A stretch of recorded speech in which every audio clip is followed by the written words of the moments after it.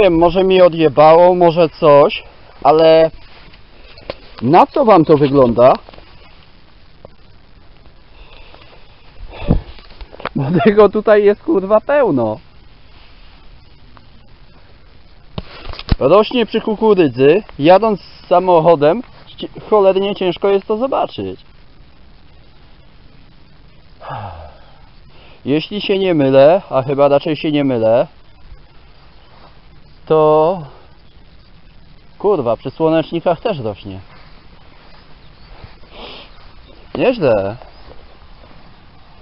Troszkę sobie nazbieram, będę miał dzisiaj dobrą noc. Istnej dżungli nad Dunajem. Po drugiej stronie Dunaju są już Węgry. Chciałem tutaj wejść, zobaczyć jak to mniej więcej wygląda i w razie czego się okąpać w Dunaju, oczywiście, ale woda jest taka jak się spodziewałem, czyli to co teraz widzicie, tą szarość, ten brąz, woda koloru tego podłoża tutaj, to tak wygląda Dunaj, proszę Państwa.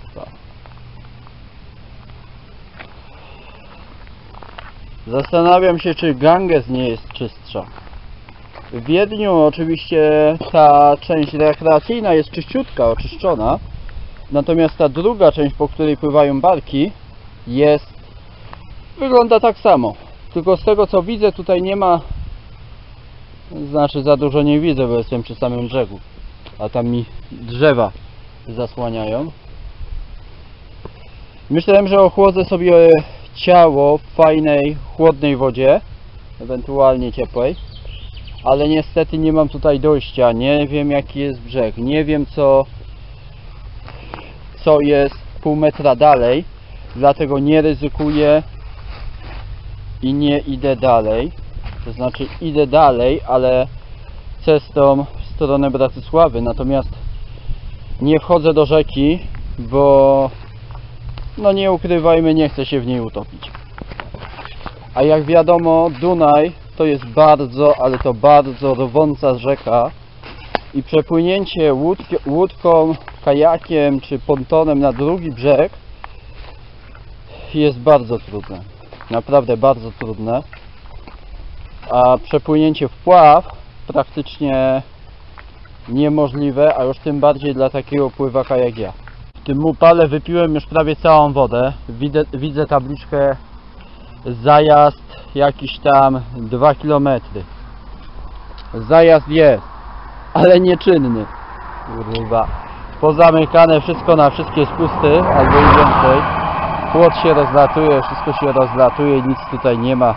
Wszystko zamknięte. Po prawej Słowacja, a po lewej tuż za Dunajem, za linią drzew, Węgry. Tam jest pierwsze węgierskie miasteczko, a ja do pierwszego słowackiego miasteczka z tego miejsca mam równo 35 km. Déjà vu numer 14 albo 15, nie pamiętam dokładnie. Jestem we wsi w dziedzinie Mocza. Mocza. Y, Miałem kiedyś, to było jeszcze chyba na początku podróży, albo kilka dni bądź kilka tygodni przed, miałem sen, że siedzę na stacji benzynowej czymś takim. Siedzi, siedzę z dwoma y, chłopakami i rozmawiamy o właśnie mojej trasie. Teraz w tym momencie właśnie się to wydarzyło. Chłopacy oczywiście już poszli, jednak w pewnym momencie uświadomiłem sobie, że to był jeden właśnie z tych moich snów. To było déjà vu numer 14 lub 15, także do końca jeszcze trochę mi zostało. Jest dobrze. Właśnie dwóch Węgrów podrzuciło mnie z Maczy do Komarna, czyli 21 km. Yy, Z tego miejsca mam no dobrze, równo 100 km do Bratysławy. a mam zamiar się dostać do samego Wiednia najpóźniej w sobotę wieczorem, żeby na poniedziałek rano skontaktować się z, e, ze znajomymi.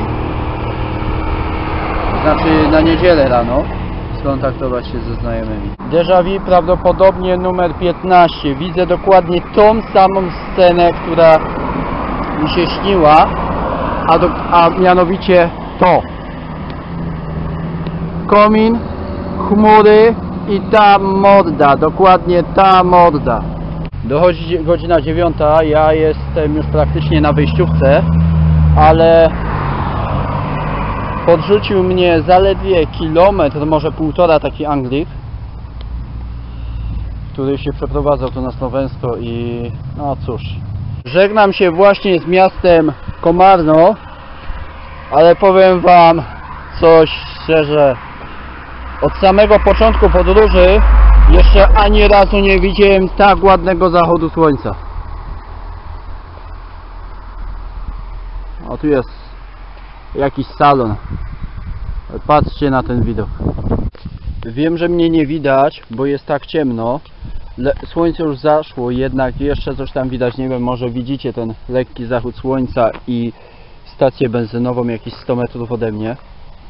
Rozbijam się w szczerym polu, to znaczy w polu pszenicy, gdzie pszenica jest już skoszona.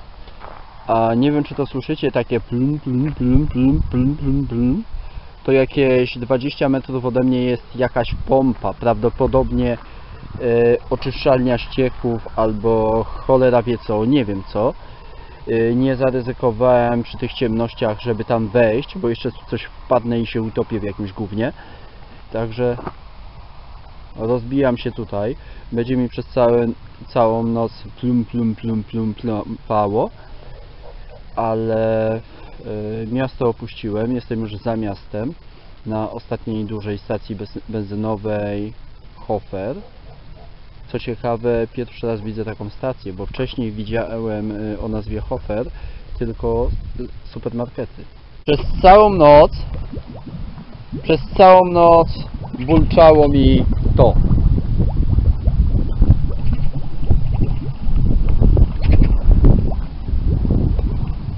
O, Teraz widać, że nie jest tutaj aż tak głęboko.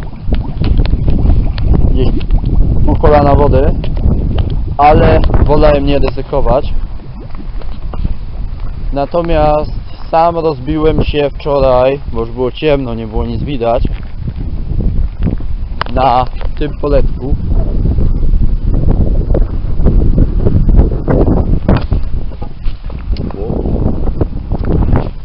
Deski nie, pozałamały, nie pozałamywały. Na tym polu się rozbiłem, tam jeszcze moje manele się pakuje. Jest piąta rano dochodzi, obudziłem się wcześniej niż budzik. A wszystko ze względu na ten wiatr. Bo mi targało namiotem i targało. Jeszcze jak powynosiłem wszystkie manele, to musiałem tam, prawie pod tamto drzewko zapieprzać za namiotem, bo mi go wiatr porwał. Wziąłem sobie właśnie trochę tej wody do przemycia, bo widać, że jest zajebiście czysta. Ale jaka cieplutka! Uhuhu. Można się tutaj kąpać. Nie wiem co to jest, gejzer czy co? Ale woda jest naprawdę cieplutka. Chyba, że to jest woda przemysłowa, ale z tego co widzę, to ludzie się tu chyba kąpią, bo czyjeś stringi tutaj wiszą. Nasrane tu nigdzie nie jest. Jedyne co to glina tutaj jest. Pełno gliny.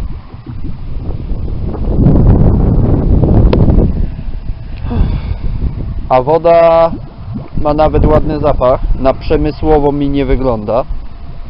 Jest zajebiście, naprawdę zajebiście. Jestem w Bratysławie, na początku Bratysławy, zaraz za Komarnem. Chyba pierwszej wsi za Komarnem, tak, w pierwszej wsi. Złapałem stopa. Yy, taki Tibor, miał na Tibor, tak.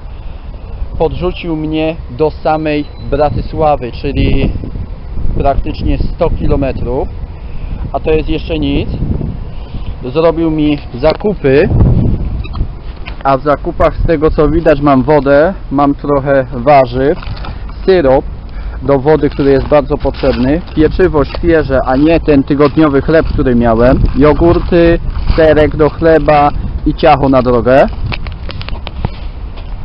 Także bardzo dobrze. Niestety Tibor nie chciał, żebym cokolwiek nagrywał. Zresztą z drugiej strony w samochodzie, gdybyśmy coś nagrywali, to nie byłoby nic słychać.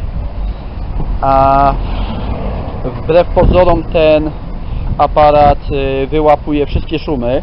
Nagrywa się? Tak, nagrywa się. Bo nigdy nie wiem, czy się nagrywa, czy nie. Co mi się stało?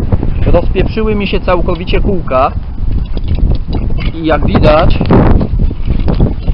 Aj. Wygląda to tak teraz. Trzymają się tylko na spinkach. Nie mam gdzie przetopić nic. Teraz jestem w Bratysławie, więc też nie będę mógł topić plastiku. Dopiero jak będę za Bratysławą. Jadę na tych, bo tema... Muszę, muszę to po prostu ciągnąć wszystko za sobą. Jedyne co mam teraz do zrobienia to przerobić całkowicie, przepakować wszystko. Rano było zimno, to fakt, dlatego wyciągnąłem jak widać swet, kurtkę i w tym wszystkim wszedłem. Tibor niestety nie miał czasu już na to, żeby żeby popatrzeć, żeby coś nagrać, bo odjeżdża właśnie autkiem swoim małym. Ale wbrew pozorom, człowiek w takim małym autku, gdzie są dwa drzwi, teoretycznie trzy, yy, mnie podrzucił, a osoby jadące dużym autem, vanem, z naczepkami różnymi, mówili, ja nie mam miejsca, a siedział sam w samochodzie. Natomiast jak jechałem do Koszyc, wszedłem do Koszyc, wtedy jeszcze, to podrzucili mnie mimo, iż siedzieli już w trzech aucie i jeszcze mieli to po. Mimo to mnie podrzucili, ale kończę, kończy mi się bateria znowu, ale jak widać ładuję sobie telefon, starą Nokię na baterce. Niestety aparat się nie będzie ładował, ale będzie działał tylko wtedy, kiedy e, będzie podłączony.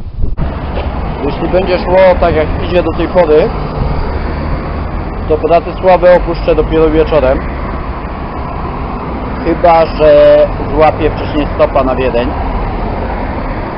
E, najgorsze z tego jest to, że nikt mi się nie zatrzymuje, no ale były dni, kiedy w ogóle nikt się nie chciał zatrzymać. Już dużo, dużo wcześniej.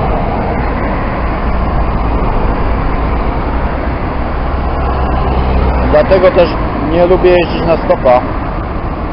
Jednak teraz zmusiłem się tylko i wyłącznie dlatego, żeby jak najszybciej być w Wiedniu, bo każdy dzień dłużej, to jak wiadomo będę miał parę groszy więcej. A przez pierwszy dzień czy dwa na pewno nie będę miał roboty. Tutaj póki jestem jeszcze na Słowacji, to nie ma problemu, żebym chodził z tym ekwipunkiem, żebym chodził z nożem przy pasku. Policja się o to nie rzuca. Chociaż wiem to chociażby niejedno, z tego, że niejednokrotnie rozmawiałem tutaj z policją, też mnie policja podwoziła. Rozmawiałem z nimi na ten temat, na temat noszenia noża. Oni mówią, że to nie ma problemu.